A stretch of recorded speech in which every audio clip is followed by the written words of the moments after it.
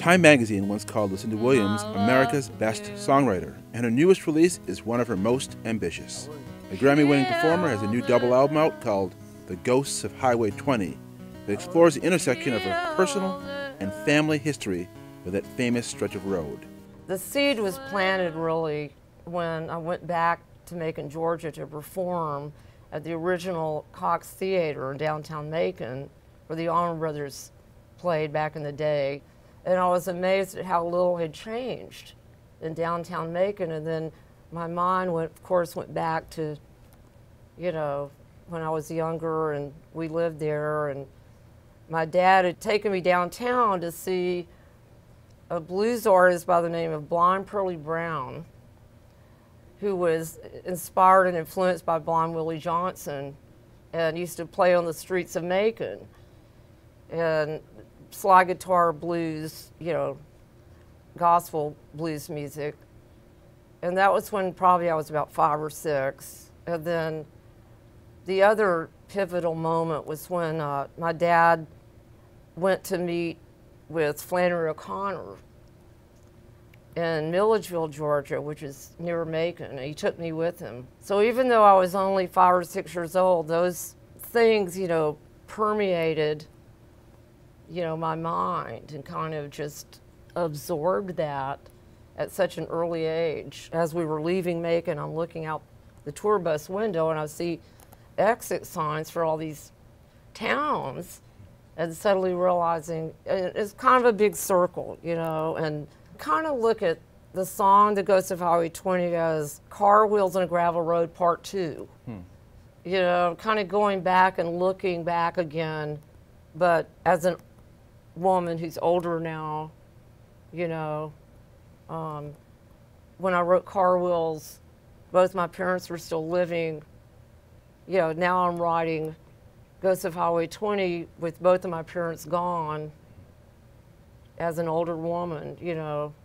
So, but I've always written about highways and roads. And when you look at all of the, like the artists you mentioned, and, you know, Hank Williams, for instance, you know, Lost Highway, his song, and Kerouac's On the Road, and Woody Guthrie, and the hobos on the trains, you know.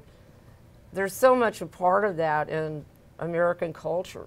And I just found it fascinating. You, you, mentioned your, your mom, you mentioned your brother, you mentioned your dad, and mm -hmm. they all sort of seem to pop up on this album in one way or another. Yeah. And the song Dust, uh, your father, uh, Miller Williams, great poet, you know, mm -hmm. read a poem at the uh, one, of, one of Clinton's inaugurals, yeah. and you drew from his poems to write that song. Tell me a bit about how you how you did that as yeah. a songwriter.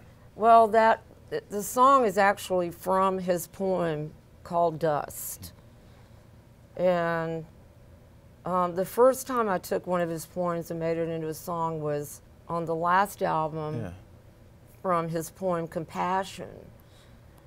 And so and it was quite challenging because it's not easy. You can't just throw a melody on the poem. You have to take the words in the poem and, you know, rearrange them into some kind of song with it, you know, some kind of an arrangement with a refrain or of some kind, you know, or something like that. So I'd been wanting to do it for a long time and hadn't been successful at it. And I managed to finally do it with compassion, which inspired me to then, you know, try it with this poem, Dust. And what I find interesting, on and Dust, though, you do make one sort of word change. I'm wondering if, if that was key for you, where in the poem it's even your thoughts are dry. And in, in your in your music versions, even your thoughts are dust. Why did you make you know, even that one that word I'd done change? That. that you're the only person who's asked me about that. And I forgot I did that. And do you know why, though, thinking back? Or why would you make that I just liked it better. Huh. You know, I thought it fit. I loved the image of dust, and I loved the, the sound of dust. And I don't know, it just fit, you know? Well, th this is one line from a, a prose piece that your father wrote where he says, We live in a haunted world. We are surrounded by ghosts. Reminders of past and nearly forgotten days are all about us. And thinking wow. that it seems to have some resonance with Ghosts yes. of Highway 20, doesn't it?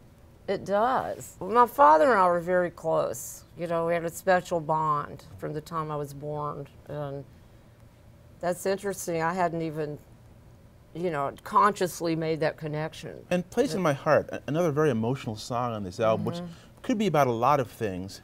And I'm wondering, does it have any connection, a family connection? Is it, Yeah. I've read that you you and your brother are a little bit are, are estranged. Does, does it speak to that in some way? Well, he's kind of estranged himself. You know, he had he's always had when we were growing. You know, as soon as he became, you know, a teenager and, and you know, or as soon as he was out of school, he would disappear. You know, for a year, and nobody in the family would know where he wa- was or if he was dead or alive. And you know, he just always had a tendency to kind of go into a shell or something, you know. I've talked about the mental illness that, you know, runs through my family from my mother and um, but is the song kind of a like a welcome it's home a song I wrote it, you know, thinking about my brother, you know, because I love him dearly. He's brilliant. I, I mean, that makes about the fourth song I've written with him in mind. You know, hmm. Little Angel, Little Brother, Are You All Right? Hmm. This one, Place in My Heart. You know, it's kind of my way of saying, sending him a message. You know, I'm always going to be there for you. There's a place in my heart. I got room to spare. There's a place in my heart. I made room for you there. But, but on House of Earth, you sort of go outside the family and to another family, the Woody Guthrie family. Right. And they actually reached out to you to sort of set some of his lyrics. yes. music. It was really interesting the way that happened. I'd performed at this festival in in Germany and met Nora Guthrie there because her husband is from Germany and he runs this festival. So they spend part of their time there and I'd never we'd never met before and we really hit it off and then later she sent me um, the lyrics to this song that Woody had written but or a set of lyrics but he hadn't put music to them yet. And she s- explained at the same time, she said, now when you read these, you're gonna, you might be kind of shocked. You know, it's a little risque. You know, it's not something you would expect from Woody Guthrie, you know, for that time. Sure enough, when I read them, I went, wow, okay.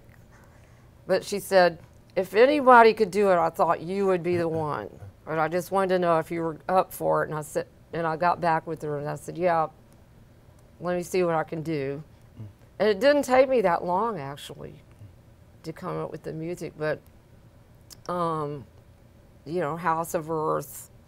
Now, one of the interpretations is, of course, the song is about a prostitute. Yeah. Uh, you know, it's a very open-minded view of prostitution, and it's from the perspective of the prostitute, who's saying, you know, let me teach you these things, and then you could go home and show your wife. I wasn't sure, you know, like she s- in the song it says, "Come to my house of earth," and I had read somewhere that Woody Guthrie, as he traveled farther west, he discovered the adobe houses, you know, houses of earth, and he was impressed with these adobe structures because they didn't blow down in the wind, you know, like the fragile wooden houses in Oklahoma. And that my husband Tom at one point said, I think the house of earth is the prostitute also, hmm. you know. So it's a pretty complex song for Woody Guthrie. It's not your it's not this land is your land, you know. Uh, now you said that that, that song uh, came pretty quickly to you. There's another Mm-hmm. song on the album that's about your, your father and his passing from, from Alzheimer's. Um, if my love could kill. Yes. And that took you years to get right. Well, I came up what that was was I came up with with that line if my love could kill years ago. And I was trying to make some kind of song out of it, but it just never never came to fruition. It just never really gelled or happened until you know, my father succumbed to Alzheimer's and then that did it, you know. But I had that little kind of hook line thing for a long time. Well, Cindy So- Williams, the, the, the album is The Ghosts of Highway 20. Thanks a lot for coming to the Wall Street Journal. I appreciate Thanks it. for having Thanks. me. I enjoyed it. you have a place in my heart.